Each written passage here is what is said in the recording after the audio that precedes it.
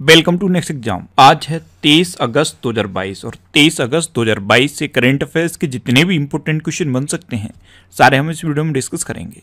और हर क्वेश्चन से रिलेटेड इंपॉर्टेंट फैक्ट भी मैं आपको बताऊँगा। तो आप पूरा वीडियो बहुत ध्यान से देखिए।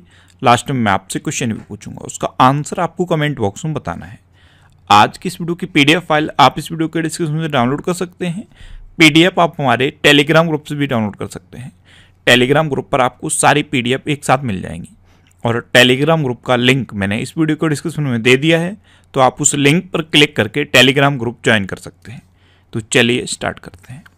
पहला क्वेश्चन है, हाल ही में राष्ट्रीय खेल दिवस कब मनाया गया है? तो अभी 29 अगस्त को राष्ट्रीय खेल दिवस मनाया गया। तो उस क्वेश्चन का बे ऑप्शन सही है। एक्चुअल में मेजर ध्यानचंद जी का जन्मदिन होता है उनतीस अगस्त को और मेजर ध्यानचंद, इनको हॉकी का जादूगर कहा जाता है।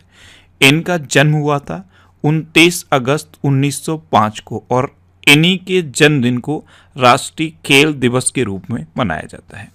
अब ये इम्पोर्टेंट डे वाला क्वेश्चन है तो अभी एक अगस्त को मुस्लिम महिला अधिकार दिवस मनाया गया। क्यों मनाया गया? क्योंकि एक अगस्त को ही ट्रिपल तलाक बिल आया था। इसलिए एक अगस्त को मुस्लिम महिला अधिकार दिवस मनाया जाता है। एक अगस्त को ही वर्ल्ड लंग कैंसर डे मनाया जाता है। दो अगस्त को पेंगली वेंकैया की 140वीं जयंती मनाई गई। इन्होंने भारतीय राष्ट्रीय ध्वज का प्रारंभिक डिज़ाइन तैयार किया था और इस बार इनकी जयंती पर एक स्मारक डाक टिकट जारी किया गया है। पाँच अगस्त को अंतर्राष्ट्रीय ट्रैफ़िक लाइट दिवस मनाया जाता है। छह अगस्त को हिरोशिमा दिवस मनाया जाता है। सात अगस्त को राष्ट्रीय हथकरघा दिवस और राष्ट्रीय वाला फेंक दिवस मनाया जाता है। आठ अगस्त को भारत छोड़ो आंदोलन दिवस मनाया गया। नौ अगस्त को विश्व आदिवासी दिवस और नागासाकी दिवस मनाया गया।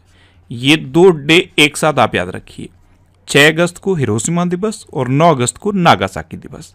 हिरोशिमा और नागासाकी, ये जापान के दो शहर हैं जिन पर अमेरिका ने एटम बम गिराया था। 6 अगस्त को हिरोशिमा पर गिराया, इसलिए 6 अगस्त को हिरोशिमा दिवस मनाया जाता है और 9 अगस्त को नागासाकी पर गिराया, इसलिए 9 अगस्त को नागासाकी दिवस मनाया जाता है। 10 अगस्त को विश्व जैव ईंधन दिवस मनाया गया और वर्ल्ड लायन डे भी 10 अगस्त को मनाया गया।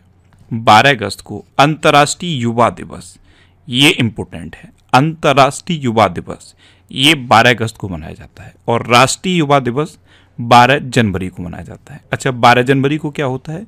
स्वामी विवेकानंद जी की जयंती होती है। अच्छा 12 अगस्त को ही विश्व हाथी दिवस मनाया गया। विश्व हाथी दिवस पर मैंने आपको दो इंपॉर्टेंट क्वेश्चन बताए थे। इंडिया में प्रोजेक्ट एलिफेंट 1992 में शुरू हुआ और प्रोजेक्ट टाइगर 1973 में शुरू हुआ। अच्छा 12 अगस्त को ही विश्व संस्कृत दिवस भी मनाया गया। 13 अगस्त को विश्व अंगदान दिवस मनाया गया। 14 अगस्त को विभाजन विवेशी का स्मरण दिवस मनाया गया। 16 अगस्त को बेनिंगटन बैटल डे मनाया गया। 17 अगस्त को पारसी नव वर्ष मनाया गया। पारसी नव वर्ष को नव रोज कहते हैं। नव का मतलब होता है नया और रोज का मतलब होता है दिन। तो पारसी नव वर्ष इस बार सत्रह अगस्त को मनाया गया है। और इंडोनेशियाई स्वतंत्रता दिवस, ये भी सत्रह अगस्त को मनाया गया। उन्नीस अगस्त को विश्व मानवतावादी दिवस, यानी कि वर्ल्ड ह्यूमैनिटेरियन डे मनाया गया। उन्नीस अगस्त को ही विश्व फोटोग्राफी दिवस भी मनाया गया। बीस अगस्त को विश्व मच्छर दिवस मनाया गया। इक्कीस अगस्त को विश्व वरिष्ठ नागरिक दिवस मनाया गया। और आतंकवाद के पीड़ितों का अंतर्राष्ट्रीय स्मरण और श्रद्धांजलि दिवस भी 21 अगस्त को मनाया गया। 23 अगस्त को दास व्यापार और उसके उन्मूलन के स्मरण के लिए अंतर्राष्ट्रीय दिवस मनाया गया। 24 अगस्त को विश्व गुजराती भाषा दिवस मनाया गया। 26 अगस्त को अंतर्राष्ट्रीय डॉग दिवस और महिला समानता दिवस मनाया गया। और अब 29 अगस्त को राष्ट्रीय खेल दिवस मनाया गया है। अच्छा उनतीस अगस्त को एक और इम्पोर्टेंट डे मनाया जाता है। वो क्या है? परमाणु परीक्षण के खिलाफ अंतर्राष्ट्रीय दिवस भी 29 अगस्त को मनाया जाता है। तो इस क्वेश्चन से आपको इतनी जानकारी मिलती है। अच्छा आज की इस वीडियो का हम टारगेट रखते हैं चालीस हज़ार लाइक का। तो अगर ये वीडियो आपको अच्छा लगता है हेल्पफुल लगता है, तब आप इस वीडियो को लाइक और शेयर ज़रूर किया करो। और मैं आपको भी बोलता हूँ डेली मॉर्निंग नोट कर। सबसे पहले अपने लिए टारगेट फिक्स करो, चाहे छोटा सा ही टारगेट फिक्स करो, लेकिन डेली मॉर्निंग नोट कर। सबसे पहले अपने लिए टारगेट फिक्स करो और फिर अपना पूरा दिन उस टारगेट को अचीव करने में लगा दो। आपकी लाइफ ऑटोमेटिकली अच्छी हो जाएगी। नेक्स्ट क्वेश्चन है, हाल ही में यूरोपीय फुटबॉल महासंघ का सर्वश्रेष्ठ फुटबॉल खिलाड़ी ऑफ़ द ईयर 2022 पुरस्कार किसने जीता है? तो ये करीम बेंजेमा और एलेक्सिया पोटेलस ने जीता। करीम बेंजेमा, ये कहाँ के हैं? तो करीम बेंजेमा हैं फ्रांस के और एलेक्सिया पोटेलस ये कहाँ की हैं? ये स्पेन की हैं। इन दोनों ने ही ये सर्वश्रेष्ठ फुटबॉलर ऑफ़ द ईयर का किताब जीता है। तो इस क्वेश्चन का सी ऑप्शन सही है, उपयुक्त दोनों। आप इमेज में देख लीजिए। ये हैं करीम बेंजेमा और एलेक्सिया पुटेलस नेक्स्ट क्वेश्चन है। हाल ही में जूता और चमड़ा उत्पाद नीति 2022 लॉन्च करने वाला भारत का पहला राज्य कौन सा बना है?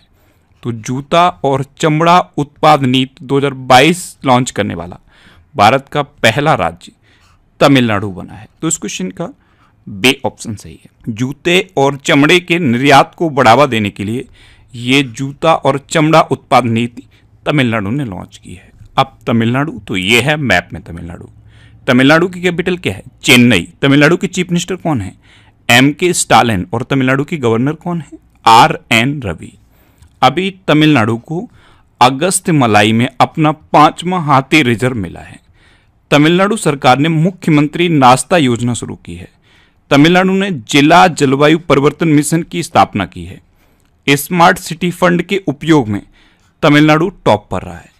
तमिलनाडु सरकार ने आईटीआई के अपग्रेड के लिए टाटा टेक्नोलॉजीज़ के साथ समझौता किया है और तमिलनाडु के मुख्यमंत्री ने एनम एजुथम योजना शुरू की है। अच्छा तमिलनाडु ने तमिल थाई वस्तु को अपना राजकीय गीत घोषित किया है।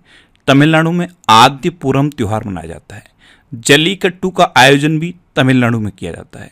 अच्छा पूरे देश में मछली के उत्पादन में तमिलनाडु नंबर वन पे है। और मैं आपको हमेशा बताता हूँ जब मैं आपको ये बताता हूँ कि मछली के उत्पादन में तमिलनाडु नंबर वन पे है तो मैं आपको बताता हूँ कि फलों के उत्पादन में आंध्र प्रदेश नंबर वन पे है, सब्जियों के उत्पादन में उत्तर प्रदेश नंबर वन पे है, और चीनी के उत्पादन में महाराष्ट्र नंबर वन पे है। ये लिंक करके याद करने की टेक्निक होती है। एक चीज़ से आप दूसरी चीज़ को लिंक करो, दूसरी चीज़ से तीसरी चीज़ को लिंक करो, इस तरह से आपके माइंड में एक चेन बन जाती है और बहुत आसानी से, बहुत लंबे समय तक चीज़ें याद रहती हैं।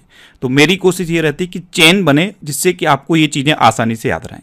तो जब भी कोई चीज़ आप याद करो, उससे लिंक करके और दूसरी चीज़ें भी याद करो। अच्छा तमिलनाडु में अभी टे एक्स टू अवार्ड मिला था। किसे मिला था? सत्यमंगलम टाइगर रिज़र्व को। तमिलनाडु में है सत्यमंगलम टाइगर रिज़र्व इसे अभी टे एक्स टू अवार्ड मिला था। नेक्स्ट क्वेश्चन है, हाल ही में Formula One Belgium Grand Prix किसने जीती है? तो अभी मैक्स वस्टप्पन ने Formula One Belgium Grand Prix जीती। तो इस क्वेश्चन का से ऑप्शन सही है। ये है मैक्स वस्टप्पन ये रेडबुल कंपनी के ड्राइवर हैं और अभी इन्होंने Formula One Belgium Grand Prix जीती है। अच्छा अभी सेबेस्टियन बैटल ने फॉर्मूला वन से संन्यास की घोषणा की थी। 2022 फ्रेंच ग्रैंड प्रिक्स का खिताब मैक्स वस्टप्पन ने जीता। British Formula One Grand Prix Carlos Sainz ने जीती और 2022 Monaco Grand Prix Sergio Perez ने जीती। अच्छा एनीमिया रोमांगना ग्रैंड प्रिक्स, ये मैक्स वस्टप्पन ने ही जीती थी। तो फार्मूला वन से रिलेटेड इतने क्वेश्चन अभी आप याद रखिए।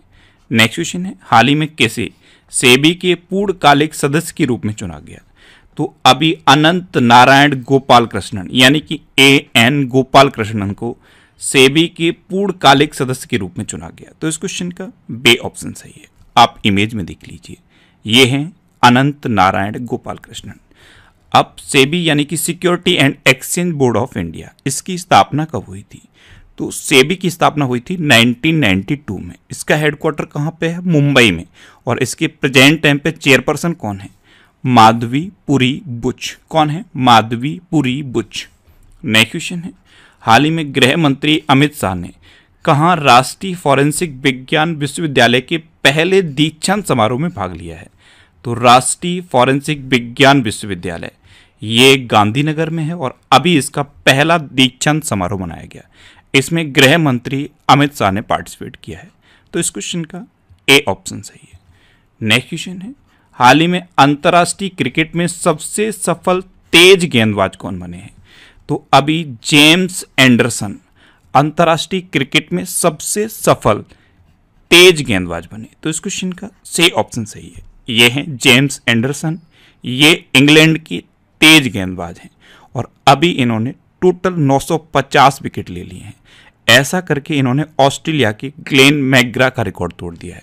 ग्लेन मैग्रा ने नौ सौ उनचास विकेट लिए थे और अब इन्होंने 950 विकेट लेकर ग्लेन मैग्रा का रिकॉर्ड तोड़ दिया है। तो ये अब अंतर्राष्ट्रीय क्रिकेट में सबसे सफल, तेज गेंदबाज बन गए हैं।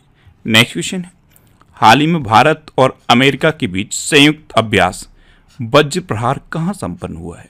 तो इंडिया और अमेरिका के बीच की एक डिफेंस एक्सरसाइज है वज्र प्रहार।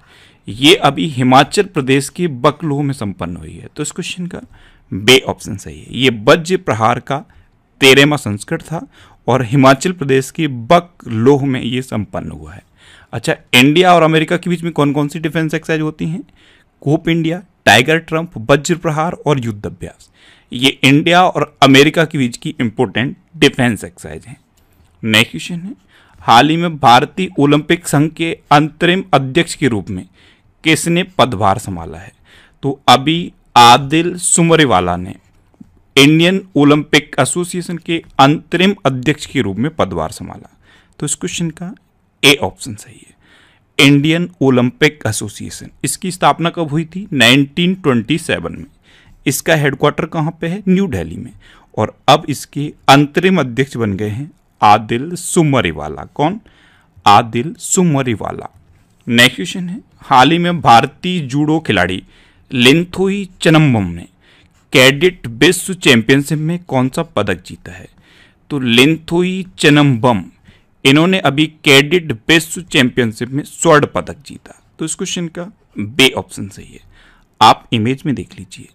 ये हैं लिंथोई चनम बम इन्होंने अभी कैडेट विश्व चैंपियनशिप महिलाओं के सत्तावन किलोग्राम भार वर्ग में गोल्ड मेडल जीता है। इनका नाम आप याद कर लीजिए। ये पहली बार है जब किसी भी बार वर्ग में, जूडो में भारतीय एथलीट ने गोल्ड मेडल जीता है। नेक्स्ट क्वेश्चन है, हाल ही में किस राज्य को 100 साल के बाद दूसरा रेलवे स्टेशन मिला है? तो अभी नागालैंड को 100 साल से भी ज़्यादा समय के बाद दूसरा रेलवे स्टेशन मिला है। तो इस क्वेश्चन का से ऑप्शन सही है।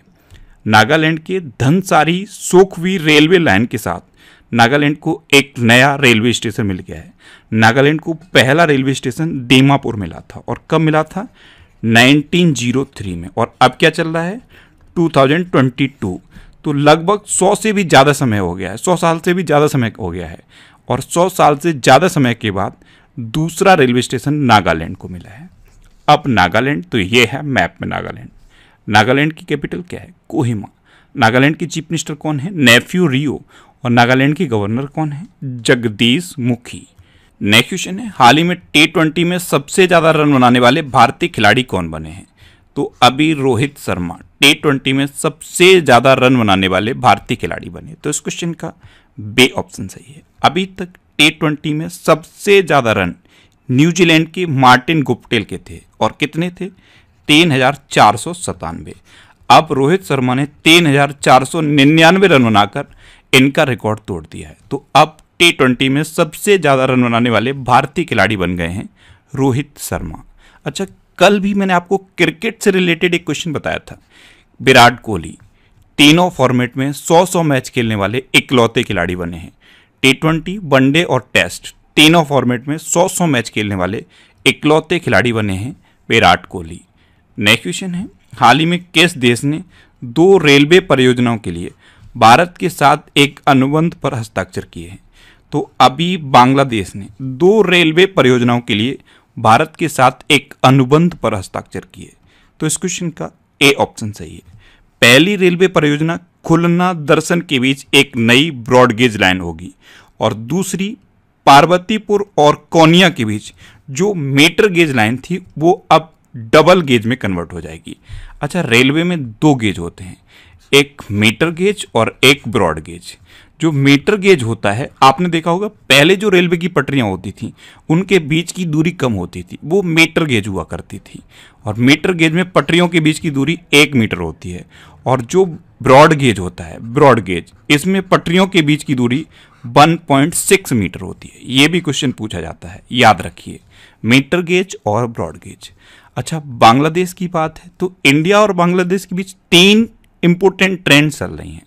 एक है मिताली एक्सप्रेस, दूसरी है मैत्री एक्सप्रेस और तीसरी है बंधन एक्सप्रेस। ये इंडिया और बांग्लादेश के बीच तीन एक्सप्रेस ट्रेनें अभी चल रही हैं। नेक्स्ट क्वेश्चन है, हाल ही में Tata Power Delhi Distribution Limited ने किसके साथ समझौता किया है?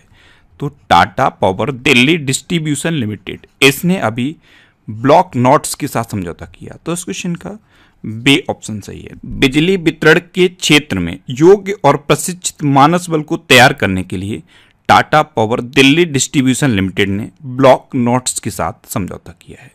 नेक्स्ट क्वेश्चन है, हाल ही में नीति आयोग ने कहा 500 अटल टिंकरिंग लैब स्थापित करने की घोषणा की है।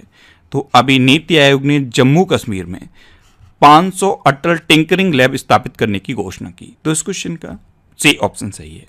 ये 500 अटल टिंकरिंग लैब 50 50 की पार्टनरशिप पर स्थापित की जाएँगी।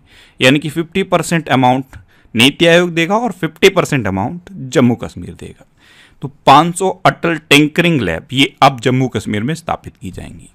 अब नीति आयोग। नीति आयोग की स्थापना कब हुई? एक जनवरी 2015 को। इसका हेडक्वार्टर कहाँ पे है? न्यू दिल्ली में। इसके अध्यक्ष कौन है? भारत के प्रधानमंत्री यानी कि नरेंद्र मोदी जी। उपाध्यक्ष कौन है? नीति आयोग के प्रेजेंट टाइम पे उपाध्यक्ष हैं सुमन बेरी। और नीति आयोग के प्रेजेंट टाइम पे सीईओ कौन है? परमेश्वरन अय्यर। कौन है? परमेश्वरन अय्यर। अच्छा जम्मू कश्मीर के प्रेजेंट टाइम पे लेफ्टिनेंट गवर्नर कौन है? मनोज सिन्हा। अब लास्ट वीडियो के क्वेश्चन का आंसर लास्ट वीडियो में मैंने आपसे क्वेश्चन पूछा था कि हाल ही में पंद्रहवा एशिया कप क्रिकेट टूर्नामेंट कहाँ शुरू हुआ है? तो यूएई के दुबई में अभी पंद्रहवा एशिया कप क्रिकेट टूर्नामेंट शुरू हुआ। यानी कि इस क्वेश्चन का ए ऑप्शन सही था और लगभग सभी स्टूडेंट ने इसका आंसर सही दिया। मोस्टली स्टूडेंट ने इसके बारे में डिटेल में लिखा। मैं आपको एक बार फिर बोलूँगा। क्वेश्चन के बारे में आपको जितना ज़्यादा से ज़्यादा पता हो, आप लिखा करो। क्योंकि जो चीज़ें आप लिख देते हो, फिर उन्हें आप कभी नहीं भूलते। अब आपके लिए आज का क्वेश्चन आपके लिए आज का क्वेश्चन है। हाल ही में मारवत उत्सव कहाँ मनाया गया है? चार ऑप्शन दिए गए हैं, इनमें से आपको अपना आंसर बताना है। और इसके अलावा हम हमारे फेसबुक पेज पर previous year question daily post करते हैं। तो आप फेसबुक पर नेक्स्ट एग्ज़ाम सर्च करके हमारा फेसबुक पेज ज्वाइन कर सकते हैं, क्योंकि प्रीवियस ईयर क्वेश्चन आपको बहुत हेल्प करते हैं। अगर आपको किसी क्वेश्चन में कोई डाउट होता है, या आपको अपने करियर से रिलेटेड भी कोई भी प्रॉब्लम है तो आप इंस्टाग्राम पर Indresh RC I N D R E S H R C Instagram पर इंद्रेश आर सी सर्च करके आप मेरे साथ जुड़ सकते हैं और कोई भी डाउट कोई भी confusion without any hesitation discuss कर सकते हैं। अच्छा आज की इस वीडियो का आप टारगेट ज़रूर याद रखना। आज की इस वीडियो का टारगेट है चालीस हज़ार लाइक का। तो अगर ये वीडियो आपको अच्छा लगा है हेल्पफुल लगा है, तब आप इस वीडियो को लाइक और शेयर ज़रूर किया करो। और आपके पास जो भी स्टडी रिलेटेड व्हाट्सएप और फेसबुक ग्रुप हैं, उनमें आप इस वीडियो को शेयर ज़रूर कर दिया करो। तो ये था आज का हमारा करंट अफेयर्स का वीडियो आपको ये वीडियो कैसा लगा? प्लीज़ कमेंट बॉक्स में ज़रूर बताना। और अगर अभी तक भी आपने हमारे इस चैनल को सब्सक्राइब नहीं किया है तो इससे आप सब्सक्राइब ज़रूर कर लीजिए। आपको इस चैनल से निश्चित ही मदद मिलेगी। जब भी आप इसे सब्सक्राइब करेंगे तो बराबर में एक बेल आइकन बन के आएगा। आप उस बेल आइकन पर ज़रूर क्लिक कर लें, जिससे कि आपको डेली मॉर्निंग में करंट अफेयर्स की वीडियो मिलती रहे। Next exam always with you thanks for watching